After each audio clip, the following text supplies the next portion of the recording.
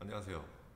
야매당구 장인 쫑프로입니다. 여러분들 차유람 선수가 유튜브를 하고 계신 거 알고 계신가요? 그 차유람 선수께서 그 PBA에 출전하면서 유튜브를 시작했는데 채널 이름은 차유람 TV고요. 지금 새롭게 하는 컨텐츠로 일반인들과의 경기를 진행하고 있습니다. 그것도 PBA 룰로. 여러분들 제가 비록 유튜브 시작한 지 한 달 된 초보 유튜버지만 명색이 당구 가르치는 유튜버 아니겠습니까? 그래서 그 차유람 TV 쪽으로 신청서를 보냈습니다. 저는 정석적인 방법이 아닌 야매 방법으로 당구를 가르치고 있는 초보 유튜버입니다. 차유람 선수는 초등학교 6학년부터 당구를 배운 당구계 정석의 아이콘 아니겠습니까? 과연 야매 당구와 정석 당구가 만났을 때 어떤 시합을 펼치는지 누가 이기는지 알아보고 싶습니다. 이렇게 메일을 보냈습니다.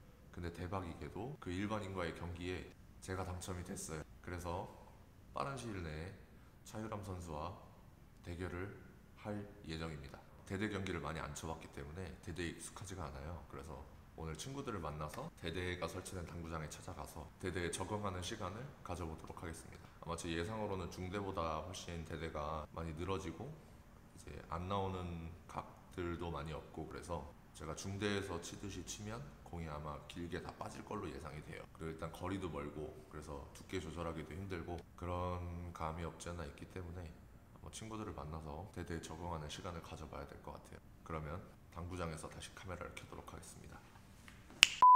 자기소개 한번 해주세요. 안녕하세요. 유튜브 꿈나무 대대 몇 점 치십니까? 대대요? 대대 지금 한 12점 정도 치는 것 같아요. 제 친구 AKA 돼지 얼마나 잘 치는지 한번 보겠습니다. 내려와 내려와. 아우씨. 죄송합니다. 제 방송 울렁증 있어가지고. 아 꺼져. 자 오늘 이 친구들과 한번 대대에 적응하는 시간을 가져보도록 하겠습니다.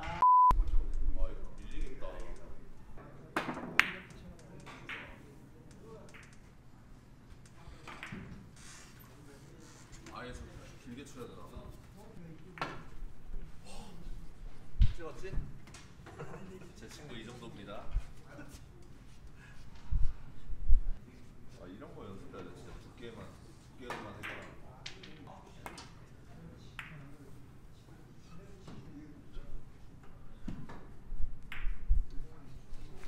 두께로만 해결하는 거 연습하고 각대로 원쿠션만 맞춰가지고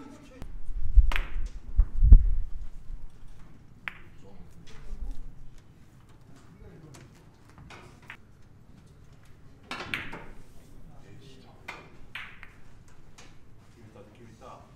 힘은 좋아 조금 늘어질 거 감안해서 아 너무 감안했네 아 이거 쇼맨십 담아 한번 치겠습니다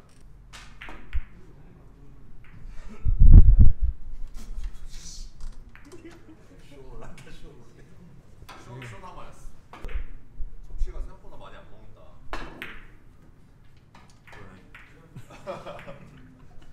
접시 친구야? 어떻게 시켜드릴까? 접시 안 먹는. 박대로 치겠습니다.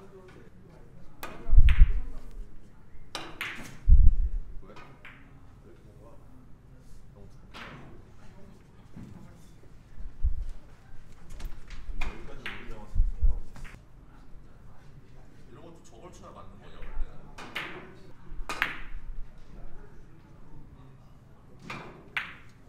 어.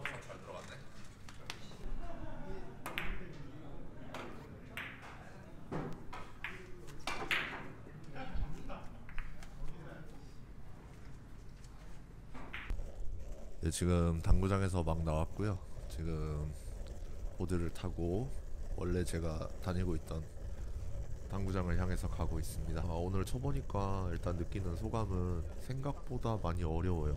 예전에도 대대를 쳐보긴 했는데 뭐 경기마다 다이마다 에버리지가 너무 다르게 나오니까 제가 좀 기복이 심한 편인 것 같아요. 지금 마지막 경기 같은 경우에는 에버리지가 0.9 정도 나왔고요. 그 마지막에 7점 정도를 한 번에 치고 끝냈거든요.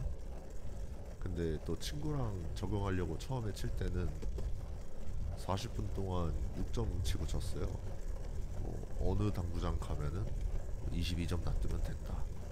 이러시는 분들도 있고 어느 당구장 가면은 22점 놔두면 욕 먹는다. 25점 정도는 최소한 놔둬야 된다. 이런 당구장도 있어서 일단 차유람 선수와 시합을 하게 된다면 다이를 최대한 빨리 파악해서 얼마나 늘어지는지 아니면 얼마나 짧아지는지 좀 파악을 빨리 해서 경기를 진행해야 될 것 같아요. 일단 차유람 선수를 이기고 싶은 욕심은 없고요. 가서 망신만 당하지 말자. 똥볼만 치지 말자는 게 저의 첫 번째 목표입니다. 자, 오늘 그 대대 적응하는 시간 브이로그 형식처럼 찍어봤는데 이상으로 영상을 마치겠습니다. 야매당구 장인 쫑프로였습니다.